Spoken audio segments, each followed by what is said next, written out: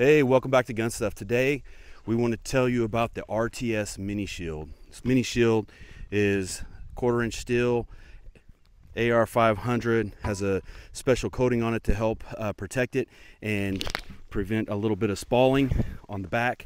You have a nice big handle, super sturdy, big metal handle, won't move.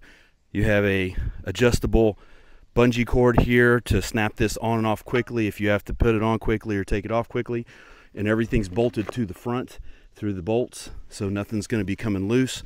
It also has a big pad here on the back that helps absorb if you get if you, you, start taking rifle rounds. One of the cool things about the RTS is that a lot of the armor out there is Kevlar, so it's not rifle rated. Where something like this is rifle rated, not much different than some of your steel plates, right? But it just takes a little bit different training. But what it does is it allows us to be able to, for a low cost, just a couple hundred dollars, be able to put one of these in us every uh, squad car out there and or be able to buy some you know for your home and be able to defend yourself very easily. So we're going to go over a couple basics with shields today. Uh, this thing probably weighs, I'm guessing it's probably about 10 pounds. Uh, it's not real heavy, but it's not light either. So it's not something you're going to carry around with you a lot. It's going to stay in your vehicle. It's going to stay somewhere stationary. Uh, but we're going to go over some of the basics of using something like this several years ago when I was in law enforcement, served as a shield man on an entry team. So it was something that uh, I had to be proficient with. And we'll talk about a few of the different ways to use this versus what the, you know, the big teams have with the big giant shields and everything. This is something small. It's individual use. It's not meant to protect a whole team or a whole stack coming through. It's just meant to get you to a threat very quickly or through a threat very quickly. So we're going to show shoot this. We're going to show you some of the uh, uses for it and how to properly employ it instead of just grabbing it and putting it between you and a threat. first thing we want to talk about is you is put positioning this on your body. How do you hold this thing? So it's a little heavy, it's a little cumbersome, it can bump into things. Uh, you're always going to keep it basically in front of you. Uh, so that way when you're moving, if something pops out, you'll be able to get it up and employ it very quickly. But some of the stuff that we see on a lot of different things, we see a lot of people using the shield in this capacity here. With a metal shield like this, if you if if there is hit on this shield if they're shooting back at you and these bullets are impacting the shield it's going to come up it's going to spall and you're going to get some of that in your arm and, and essentially you may lose use of this arm so one of the ways that I like to do this is to hold the gun just like this, uh, just over the side. So my hand is protected when it's when it's in here. Uh, if I do catch any spall, maybe on my trigger finger. If I didn't have this light, then I would shove this all the way up to the trigger guard like this. But since I have a light, I don't want to take a chance of hitting a bump and then my muzzle coming down behind the shield and me uh, sending a round off just for safety's sake and to make sure I don't do that, I'm going to ride this all the way up to the front where my knuckles are on here. So what I'm going to do is I'm going to be reducing any chance of getting spall on any part of my arm if my arm is extended. All right, another part of using a shield is presenting a small silhouette behind your shield. Uh, so holding your shield out off your body instead of just letting it rest onto your onto your gear or holding it onto your gear like this kitting it out there. So as the difference is this, so as I'm sitting here with it in this position here, holding it, just kind of resting on my body, when I hold it out and I position myself behind it, as I come out and I put my gun on here, I'm tucking my elbow in and I'm, I'm pushing the shield out. So I'm holding it away from my body so that I can fit more of my body behind this small shield. Some of this also will come in getting a little bit of a crouch behind the shield. So if I lean over just a little bit and crouch, then that's going to cover my pelvic region right here because that's one of the uh, things that if you get hit right in the hip, you know, you're gonna you could have a very good chance of bleeding out. And on top of that, if it destroys the hip, you don't have any mobility. You can't use that hip to support your weight. So if you lean forward just a little bit, get that gun up there, you'll be able to cover those, and then it only leaves your thighs. And that's a little that's going to be able to take a little more shock and you can still fight through a thigh injury. And one of the other things i want to address is the angle of the shield. So a lot of people you'll see they'll have the shield they'll have it kind of angled down like this have their hand out over and or around so they can see their sights. If it's back here keeping this ang keeping this angled up just a little bit uh, because if there's any spall, it's going to hit the shield, it's going to travel up, and go over my head and go into the ceiling or whatever. If I have this angled down, if I'm carrying it around and I have it angled down like this, I push all that spall and any anything that deflects or ricochets or whatever, I push it right down into my hip region and into my thigh. So by doing this, keeping this lean back just a little bit, it's going to hit here and it's going to ride up and ricochet over the top. We're going to do a quick demonstration for you to show you exactly what that looks like. All right, so our first demonstration here is with this shield hanging at an angle. The two balloons here represent your thighs. I'm just saying, I know what some of you are out there thinking. No, this represents the thighs and all the blood vessels and everything that are running right through there. As you're holding that shield, this is going to be the first thing. This is going to be just below your shield if you're holding it properly. So we're going to fire one round, one or a couple rounds into this this is just hanging on a T-post with a hook and it's just hanging at an angle so that way you guys can see and get the effect of what would happen to your legs if you're holding it at that angle.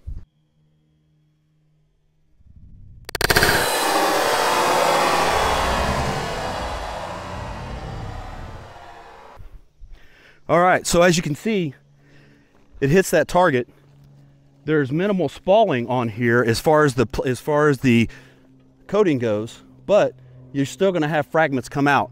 Now, I've been on the range and I've seen people get hit with tiny little pieces of copper jacketing that have sliced all the way in to where they had to have full-blown surgeries to where you had to go in and cut and dig deep in there to get that out. Well, if you get one of those in your thigh right there, it's going to be a bad time trying to manage that bleeding while you're trying to get to that active shooter or trying to respond to that threat with this shield. So if you don't have to put yourself in danger, if you don't have to put it in, then don't. Uh, so now we're going to change it up and show you guys a little bit different angle on this and how this could work.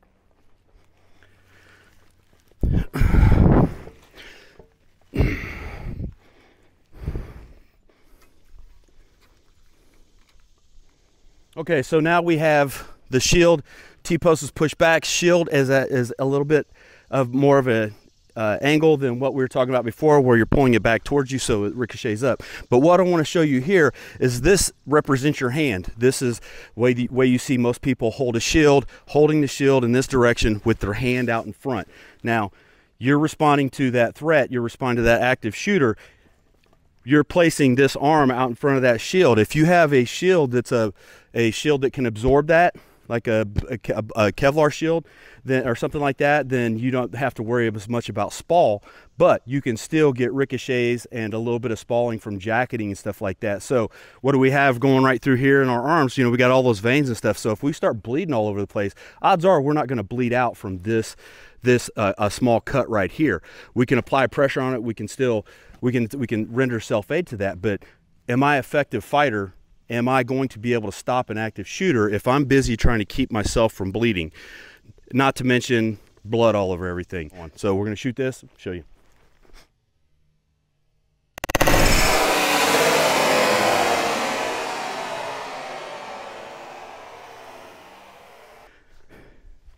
All right, again,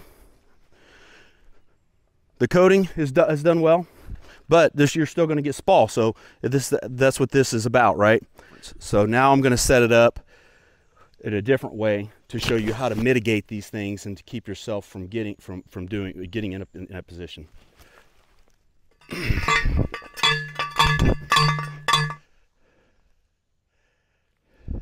okay, now for this demonstration, we have the shield held back in the orientation that I was talking about before.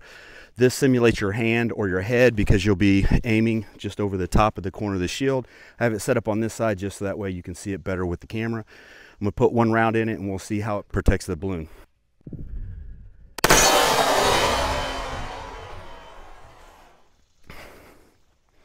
All right, so we see that the balloon's still intact. It hits, it spalls up, it doesn't go down and get your legs it's going to hit and it's going to deflect up. It's going to go into the ceiling or it's going to go into the air. That's going to rain down somewhere else, but it's going to lose its velocity. It's not going to be lethal. You know, somebody could still get something in their eye or something silly like that. But that's the best way to mitigate when using something like this.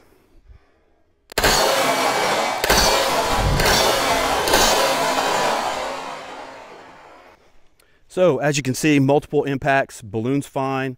Uh, this is just a T-post with a with the driver sitting on top of it and the balloon sitting on top of that. Very quick, very easy setup and very easy way to demonstrate this. But as you can see, there's gonna be spall no matter what. So this is one of the better ways to mitigate that to protect you and the people behind you. So I've been peppering this thing with nine mil and a couple different couple different uh, grain weights, stuff like that. But it says that this is also rated for green tip, so we're going 556 green tip, and we're also going to leave the balloon up there just as a demonstration, just to show you what kind of uh, protection this offers.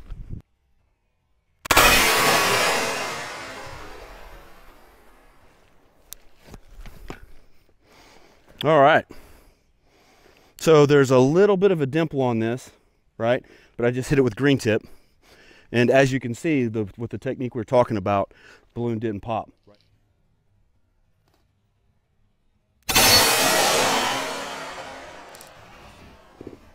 These rounds are hitting this, and you don't see it. You don't see it waving a whole lot. This is just a, a this post is only stuck about six, seven inches in the ground, and it's just wobbling like this. So one of the added benefits of an RTS shield or uh, another steel shield or anything like that is the fact that it has weight the amount of weight that this is helps mitigate that impact because you have that 556 round doesn't weigh a whole lot but it's going really fast so it has penetrating power. But if you stop that penetrating power then it's not putting as much kinetic energy on here as if you were using one of the softer shields or lighter shields. So this actually helps absorb some of that recoil. So you could go into a room after an active shooter and you could and you know that you could successfully take a couple hits into this shield and still engage and, and win the fight. All right, so we got to play with the RTS shield today. This thing is rated up to 308, and this retails for right around four, $450, maybe $500, depending on, on where you get it. This is something that can protect every officer out there or any safety team for a church, anybody who's serious about home defense, this is something that you can put in there. This will not warp, it will not chip, crack, or anything like that, like you have delamination from other ballistic shields if you leave them in trunks of cars or in you know your vehicles or your ERT vehicles or anything like that. So this is something that is just a, a solid, reliable go-to. Now this is not as thick and sturdy probably as an AR500 steel target. This is just quarter inch, so it's not meant to be beat on every day, but it's going to stop those bullets for you. And this is now going to live in my Jeep. So this is going to stay in here with me all the time. So that way I've got something to uh, use here since we've already shot it up. But this, I trust this to protect me against any other threats. So I would reach out to the people in charge of your training, your safety, your gear, all that stuff, whatever it is, what team you're on or whoever you work for, and request some of these RTS plates.